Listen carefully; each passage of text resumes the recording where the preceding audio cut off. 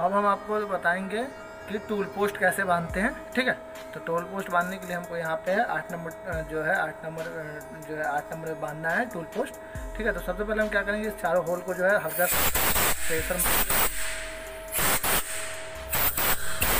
ठीक है? मारने के बाद क्या करेंगे? हमारा ये देखिए, ये जो है टूल पोस्ट है, ठीक है? ये जो है हमारा टूल पोस्ट है, ठीक है? इसको जो है आप अच्छे से थोड़ा कपड़े से अच्छे से थोड़ा कपड़े मार देते हैं।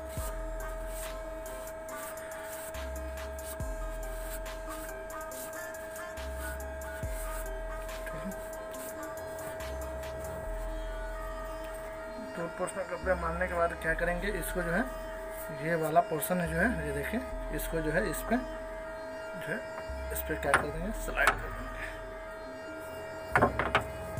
ठीक है? ये जो हमारा फिट हो गया। उसके बाद क्या करेंगे? उसके बाद इसको इसमें चार को बोल्ट इसमें डाल देंगे, ठीक है?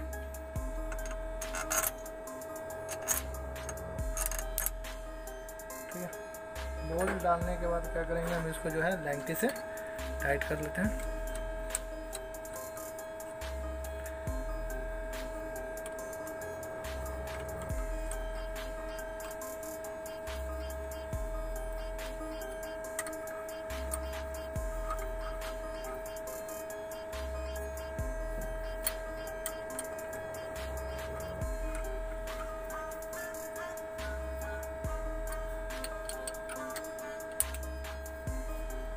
अच्छे तरीके से इसको टाइट कर लेते हैं।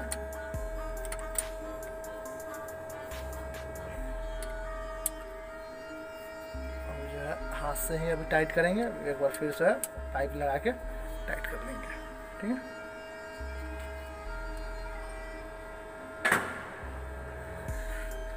तो इसको टाइट कर लेते हैं। पाइप लगा के टाइट हो गया।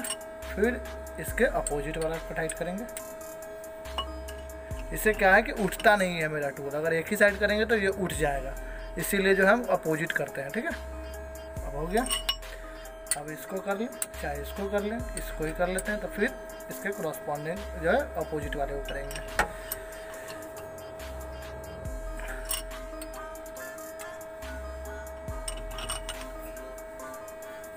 हमारा जो है टूल पोस्ट टाइट हो गया, ठीक है? अब क्या करते हैं? पहले इसको होम करते हैं। करने के बाद टरेट इंडेक्स करते हैं। टरेट इंडेक्स करना, कर लेते हैं दोस्तों।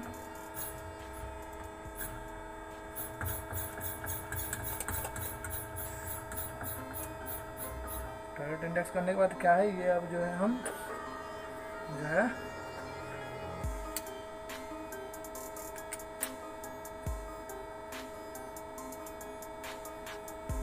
जो है अब जो है स्लीव को क्या करेंगे, इसके अंदर इसको भी साफ़ करके, साफ़ किए हैं। इसको दोस्तों, इसको साफ़ करके अच्छे से इसको जो है, इस जो है नट के नीचे सिधाई में इसको क्या करेंगे, डालेंगे, ठीक है? ये नट के सिधाई में, ठीक है? बोले, बोल्ट के सिधाई में, ठीक है? इस बोल्ट के सिधाई में कि ये जो है, ये जो है बोल्ट इसके जो है, ये जो है होल इसमें चला जाए, ठीक है? तो उसके आराम से सिधाई में जाके इसको क्या करेंगे? हाँ, इसमें जो है इसके बोल्ट जो है ठीक है दोस्तों चला गया।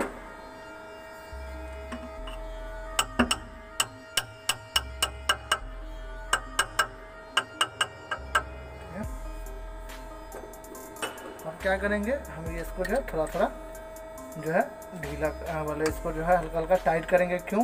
अभी जो है बोरिंग बार नहीं डालेंगे, इसमें अभी बोरिंग बार इसीलिए नहीं डालेंगे कि देख लेते हैं एक नट जो है, एक बोल्ट जो है मेरा ये जो है, इसमें जो है आ रहा है कि नहीं, इसको जो है हाथ से टच करके भी देख लेंगे। नहीं तो क्या हो जाएगा, नट बोल्ट को टाइट करेंगे तो क्या हो जाएगा, वो जो है, वो जो है जो है मेरा स्लीव जो है, ये जो स्लीव जो डाले वो क्या हो जाएगा, बैंड हो जाएगा। अगर मानिए होल नहीं मिलेगा, होल नहीं मिलेगा तो क्या हो जाएगा, वो बैंड हो जाएगा। इसीलिए हम जो है हाथ टच करके थोड़ा देखेंगे कि ये ये जो है होल मिला कि नहीं मिला, ठीक है?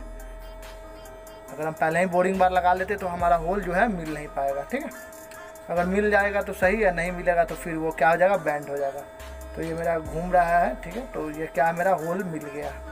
तो एक बार कंफर्म होने के लिए क्या करेंगे हम? जो है जो है नीचे हैंड रख के टच कर लेंगे। अगर हम आठ का, बारह का अगर हम अगर करेंगे, ठीक है? आठ और बारह का जो है बोरिंग बार बांधेंगे तो उसमें तो टच नहीं कर सकते हैं, देखिए।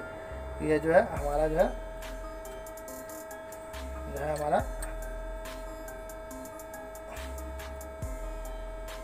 देखिए, हल्का सा मूड़ा हुआ है। ठीक है? तो देखिए, ये जो है मेरा मैचिंग करने लगा, ये आने लगा नीचे, ठीक है? एक जो है मेरा ये फ्री घूमने लगा तो यानी ये जो है हम टच करके देख लिए। अगर मैंने यानी पतला रहता, यानी आठ का बोरिंग बार बांधना रहता या बारह का तो ये मेरा हैंड नहीं जा पाता। तो क्या करते, हम ये इसी अंदाज कर लेते कि ये जो है हमारा नट बोल्ट जो है वो जा रहा है कि नहीं नीचे, ठीक है? तो ये हमारा जाने लगा। अब देखिए तो ये हमारा जो है होल मिल गया। अब हम क्या करेंगे? अब जो है हम, ये जो है, देखिए हमारा जो बोरिंग बार है, ये बत्तीस का बोरिंग बार है। अब इसको जो है हम क्या करेंगे? इसके अंदर डाल देंगे, ठीक है? जो है स्लीव के अंदर जो है डाल देंगे।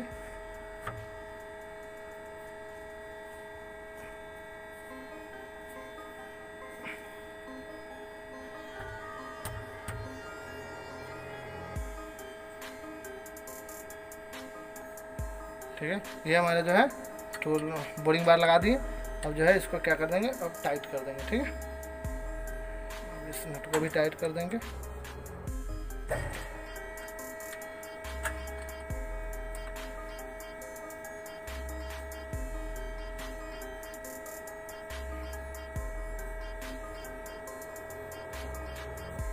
दोनों को बोल्ट को टाइट कर देंगे अच्छे से।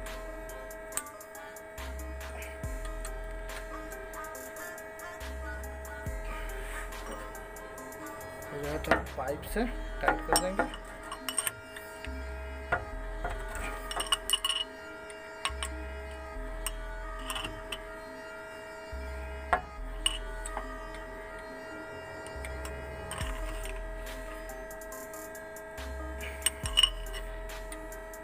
ठीक है तो ये हमारा टाइट हो गया दोस्तों। तो इस तरह हम क्या करते हैं, टूल पोस्ट को जो है टाइट करते हैं ठीक है?